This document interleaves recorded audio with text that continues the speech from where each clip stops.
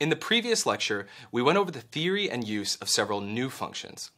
In this demonstration, we'll be putting a portion of that knowledge to use by building an interactive sketch together. I'll be focusing on a project that is heavily rooted in mouse input, demonstrating how a sketch can be a starting point for artistic creation. And the actual creation begins after pressing run. Let's launch processing and I'll show you what I mean. Okay, so here we are in processing, and in this lecture, I'm going to show you how you can create your own sample interactive project from scratch. Now this project is heavily based on the input from your mouse. And the project that I'm going to be creating is based on a project from the textbook Generative Design, published in 2012, and this is from exercise P11101. Now, this is one of my highest recommended textbooks for working with processing. It's called Generative Design, and it can be found by visiting generative-gestaltung.de slash code. From here, there are several code packages available both for processing and VVVV. Now, if you'd like to explore these code packages, I recommend downloading Code Package for Processing 2.x, and I highly, highly recommend owning a copy of the Generative Design book. So, let's get back to work here. So the first thing I'm going to do is declare a few global variables. I know that I'm going to be working with a for statement, which is going to be counting up steps. So I'm going to create two step counting variables from integers. And those integers are going to be step x to count the steps along the x-axis and step y to count the steps along the y-axis. And that'll make a little bit more sense when I plug these into the for loop in my draw statement. So that's all we're going to use for our global variables. Next, we're going to set up our setup function. So I'm going to type void setup. It's going to take no arguments, place my curly brackets inside, and I'm simply going to set up the size of our canvas to be 800 by 600 pixels. And for the background, I'm just going to type 0 and what that's going to do is it's going to set our background to be black. Okay, that's fine because actually the background won't be visible when we're all done with this sketch. Okay, that's all we're going to do for the setup code. Simple so far. Next, we're going to set up our draw code block. So I'll type void because it returns nothing. Draw takes no arguments. And set up our curly brackets, open and close. So one of the first things that I want to do is change the color mode.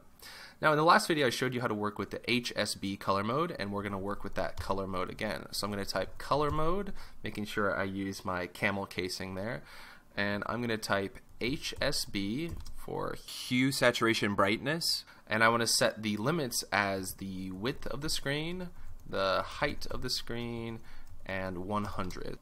And then next what I want to do is I want the mouse to control the steps. So if you recall, I made the step x and step y variables. Let's go ahead and fill those variables in here. So here I'm going to say for our mouse input, I will define step x to be mouse x, and then step y is going to be mouse y. And let me just clean up this code here so it's all aligned. Go. So this is going to define the step size. And one thing that I'd like to do is I would like to add a little bit to the step size. So as we move along the x-axis and move along the y-axis, I want to add the space in between the boxes that we're going to be drawing for this. So I'm going to add a spacing of 20 and 20. So each time we move the mouse, it's going to take that value and add a value of 20 to it. Okay. Now we'll take a short break to see how things are going with a brief quiz. Okay, so next we're going to write our for statement. And this is going to be the most powerful statement that we write because it's going to basically control all of the drawing in our project. So this is going to be our for statement. And let me explain a little bit about this for statement. So basically what we want to do is we want to create a grid out of our canvas and we're going to call that grid grid X and grid Y for the two different values. So there will be grid Y and grid X. And what we're going to do is we're going to say that as long as the grid is less than the height and width of the screen, you should iterate through the steps. And those are step X and step Y based off the mouse. So that says basically as long as our mouse is on the screen, you're going to do some redrawing of boxes on the screen uh, based off of the location of the mouse and how it's being iterated through with the for functions. So enough talk about that. Let me show you how it works.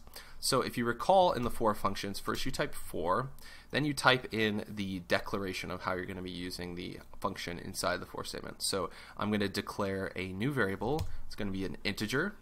And as I mentioned, it's going to be called grid y.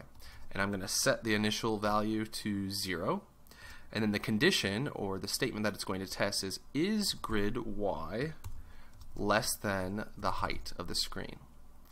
And if it is, you're just going to add a sign. That is to iterate through and increase the value by none other than step y. So this is going to consult the input from step y, which if you recall is the input from the mouse. So I will go ahead and open a curly statement do a few returns and close that statement. And now we're going to write an almost identical for statement inside here for grid x. So I'm going to do the same thing. So for integer declare grid x, give it an initial value of 0. Then the condition to test is is grid x less than the width of the screen? And if it is, you're going to iterate through grid x, add a sign, step x close and now these are the curly brackets that our code is going to go into. So we're going to do two things. We're going to draw a rectangle and we're going to change the fill of that rectangle and we're going to do that throughout the whole screen. So first is the rectangle code. So for the rectangle, we're going to choose the rectangle to be drawn based off of the location of grid X, the location of grid Y, and then we will change the size based off of step x and step y. So there are only four variables, two global, two local variables, and we're using those to be completely decident upon how our rectangle is drawn. And not only are we going to change that, but we're going to change how the fill works as well. So I'm going to say that the fill is based off of the HSB color values, and we're going to grab those color values for grid X, and then we're going to do height minus grid y and then we're going to do 100 for the third value. Okay, so up to this point, what we've done is we've declared two global variables. We've set up our canvas to be 800 by 600. We've changed the color mode to HSB. We stored our mouse plus 20 in two new local variables, or two global variables actually. And then we wrote a nested for statement that's checking two new variables, grid x and grid y, seeing if they're less than the height, and then add assigning them based off the location of the mouse. Then we use all those values to select the color and the rectangle size. So now if I run this, let's take a look at what we have here. Ah, so this should be a semicolon. Here we go. Let's run that, fix that error. Okay, so here we are. So here's how it works. Basically, it's redrawing these grid and selecting the colors and moving those color values and iterating them through. So if I'm in the lower right hand corner, we're going to be at almost full value. And what that means is it's only going to be drawing one rectangle at the maximum width and height. But as I move my mouse closer to the upper left, I'm lowering the value and increasing the amount of rectangles that can appear on the screen. And you'll see that as you move, those colors are changing based off of the location of grid X, grid Y. So this is a really amazing piece. There are a lot of options that you can do with this piece. For instance, I could change this from a rect to an ellipse. You'll see it, this is an interesting view here. It's going to be drawing these ellipses on top of each other. So this makes for a very different piece, but it is also interesting as well. And then something else that I can do is I could say, for instance, no stroke and take away the stroke on these. Let's go ahead and play with that. So this is a very interesting piece. Now, as I mentioned, this is based off of one of the exercises from the generative Gestaltung text. Now, one of the last things that I want to show you is how to work with the keyboard input. And instead of using the keyboard input to change the drawing, because this one I want it to be heavily based on the mouse input, we're going to use the keyboard to save a screenshot to our data folder.